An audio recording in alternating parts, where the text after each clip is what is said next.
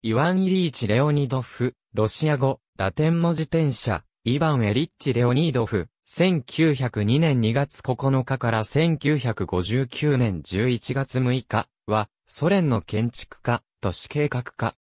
モスクワにあったソ連の高等芸術学校、ブフテマス出身。1927年、抽象的な立体幾何学図形のみで構成された卒業制作のレーニン研究所で才能を注目され、卒業後に母校教員として採用される。こうして1927年から1930年まで、ウブデマス建築学部で教鞭を取ることとなるほか、ソ連重工業省の大規模プロジェクトに長く関わっていた。しかし1930年代後半からは、ロシア構成主義的な建築は、スターリン主義体制の批判と抑圧にあったこともあり、そのためか生涯一度も自作の建築を建てることがなかった。第二次世界大戦後も、展覧会のインスタレーションなど晩年まで不遇で、実作の機会を得られず、アルコール依存症となり、その結果事故に遭遇し要請する。が、レーニン研究所や、重工業省、ビルコンペ案、マグニトゴルスク都市計画などの計画案は、後世に大きな影響を与えている。ルコルビュジエが、とりわけ高く評価し、カール・モーザーに宛てた手紙に、わざわざカッコ付きで結出していると書き、レムコールハースが傾倒した建築家としても知られる。レオニドフは1902年2月9日、時計職人の息子として、トベリ州の州から離された、スタリツキーライオン地区の村で生まれる。森林管理者である農夫の息子で、農場で育ち、4年生農村学校を卒業してから、しばらくの間、後に、ペトログラードの造船所で、季節労働者として働きながら、村の宗教画家に弟子入りしていた。その後製造画家がレオニドフの絵の技量に気づき、画家見習いになる。1919年、レオニドフは、トベルのスボマレスフリーアートスタジオで絵を学ぶ。1921年に絵画を続けるために、モスクワへ赴き絵画学美術工房に進んだ。1922年から27年まで、ベスニン兄弟の三男、アレクサンドル・ベスニンの指導のもと、ブフテマスで学んだ。ブフデマス入学当初は、絵画の学科生であったが、自分の興味が絵画から建築に変わっていた。こうして、建築の学科に転化し、1924年創設のアレクサンドルのスタジオに入る。1925年から1926年にかけて農村家屋改善、イバノボの住宅、ゴステキスティルトレストやミンスクのベラルーシ国立大学の建設、500人から1000人規模の標準的ワーキングクラブの設計協議といったプロジェクトを任される。1926年に彼は、ジャーナル、近代建築を刊行し自分のプロジェクトを公開し始めた。1927年にモスクワを建設地にしたレーニン研究所と図書館の卒業制作をもって卒業。この架空のディプロマプロジェクトは彼に国際的な認知をもたらした。このスキームはモスクワの現代建築展で顕著に展示され、オサグループの雑誌、ソブラメナヤアーキテクトゥーラにも掲載。その後1928年から30年の間にブフテマスで教鞭を取る機会を得た。1927年から1930年の間は建築家として最も有益で創造的な活動時期で彼は近代建築家協会の活動に積極的に参加し議論を行いその後多くの競争力のある競技プロジェクトに取り組む活動を1928年から開始。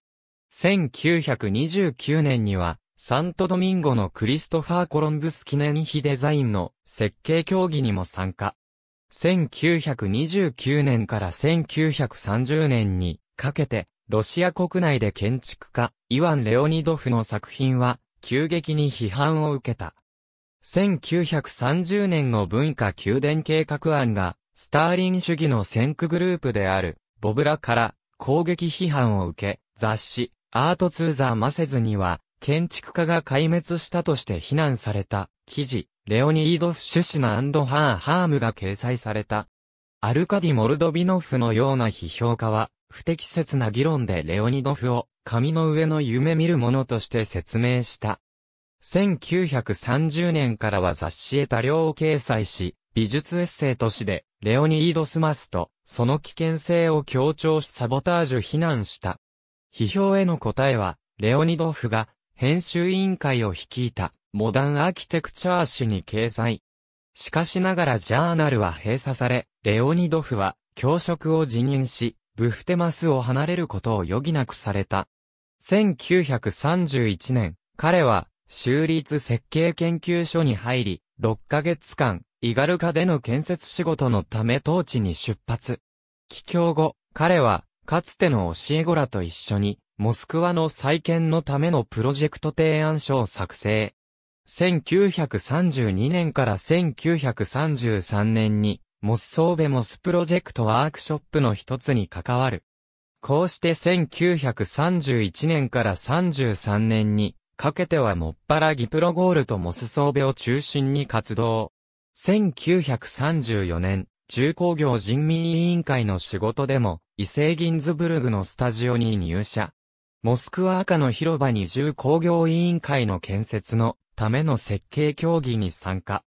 1934年から41年にかけては、彼は、モイセー・ギンスブルクの工房内で、創造的なチームを率いていく。1941年に彼は軍隊に招集。正面では、エンジニア大隊の一員として、ボロネジ付近の防御戦に参加。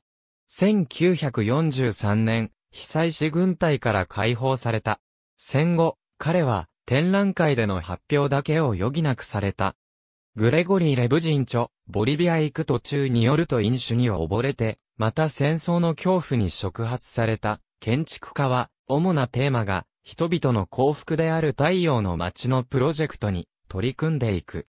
モスクワの有名な百貨店ベントルグに関するプレミアムクラス記事レンタ RU によると、レオニドフは、その後ベントルグの階段で急性心不全を発症し1959年11月6日に死亡した。彼は、初心者、サナトリウム駅周辺の村ファーズのオブスカイユの墓地に埋葬された。立方体の形をした墓石に、建築家、イワン・レオニドフと名を刻まれている。レオニドフの唯一の現存のデザイン作は、1938年に竣工したキスロボスクの階段である。2007年、アンアセトトポシビレ展、イバン・レオニードフによる建築、1926から1934がミラノトリエンナーレで催された。2010年ウィーン建築リングタワーでの展示シリーズ、レオニードフは1926年から1934年までのロシア構成主義が網羅された展示会であった。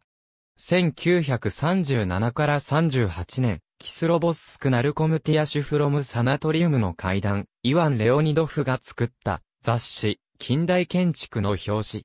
ありがとうございます。